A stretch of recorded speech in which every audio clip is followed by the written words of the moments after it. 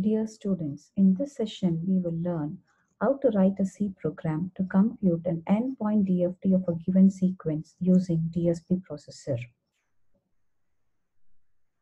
A DFT is a discrete Fourier transform. It is one of the most important tool in digital signal processing and which enable us to compute to find the spectrum of the finite duration signal. If you see the output of the Fourier transform, it is a continuous time signal. This signal cannot be processed by a digital computer.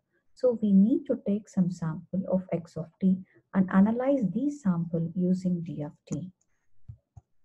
The DSP processor is a specialized microprocessor designed to handle a digital signal processing task to perform the mathematical functions like addition, subtraction, and MAC operation at very high speed. If you see the program logic here, we have to know the formula of DFT. x of k is equal to summation n is equal to 0 to n minus 1 x of n e power minus j 2 pi k n by n. This e power minus j theta, we can write it as cos theta minus j sine theta. We can write it as cos of 2 pi k n by capital N minus j sine of 2 pi k n by capital N. Then we have to multiply with summation and x of n. In right hand side, we will be getting two terms.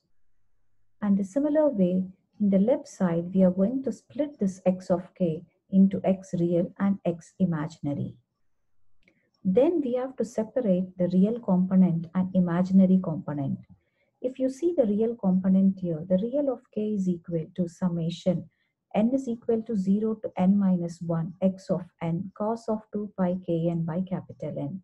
The x imaginary of k is equal to minus summation n is equal to 0 to n minus 1 x of n sine of 2 pi k n by capital N. After getting the real and imaginary, we have to find the magnitude by taking a square root of x real square plus x imaginary square. This x real square, we can write it as x real into x real and imaginary component, you can write it as x imaginary into x imaginary. Then the next step, we have to find the angle by taking tan inverse of x imaginary by x real. In the next step, are going to write the program using Using the C program, you're going to compute an N point DFT of a given sequence. The software is a CCS Studio. First, we have to execute. In the program, we have to include the header file. After including the header file, we have to declare the variable. And here the pi is 3.14. We have to go with a magnitude, a phase, a real, and imaginary. And here the number of sample, we are going to take it as 10. These are the inputs we are going to give. And then we have to go with two loop, a for loop. One is the outer loop, another one is the inner loop. For both the loops, the range will be from 0 to n minus n minus 1.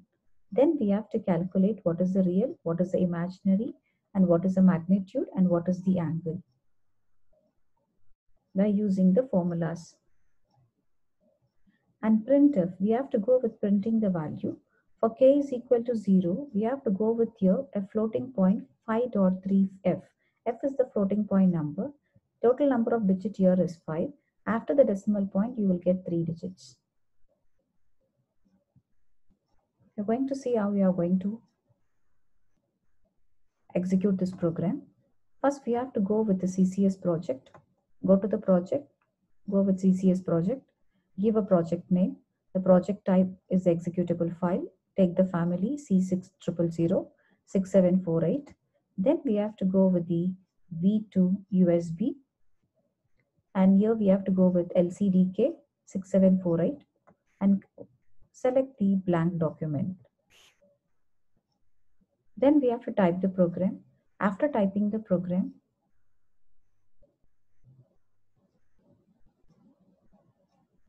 we have to save the file with the extension of .c.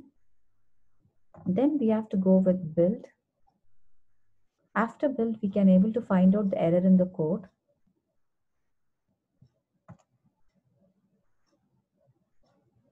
See, after building is finished, we have to go with debug.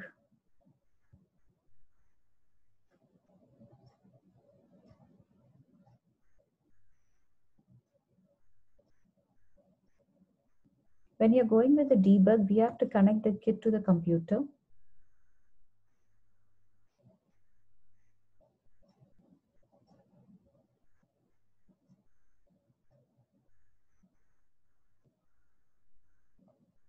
We have to connect DSP kit to the computer.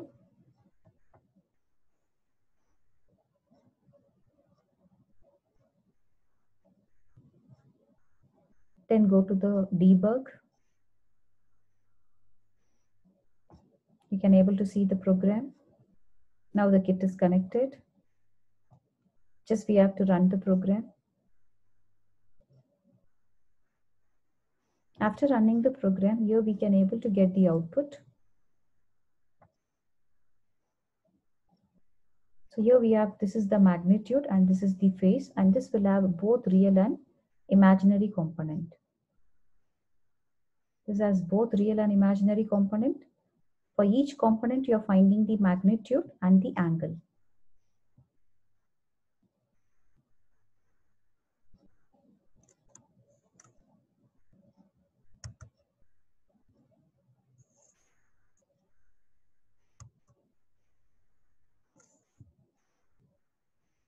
Thank you all.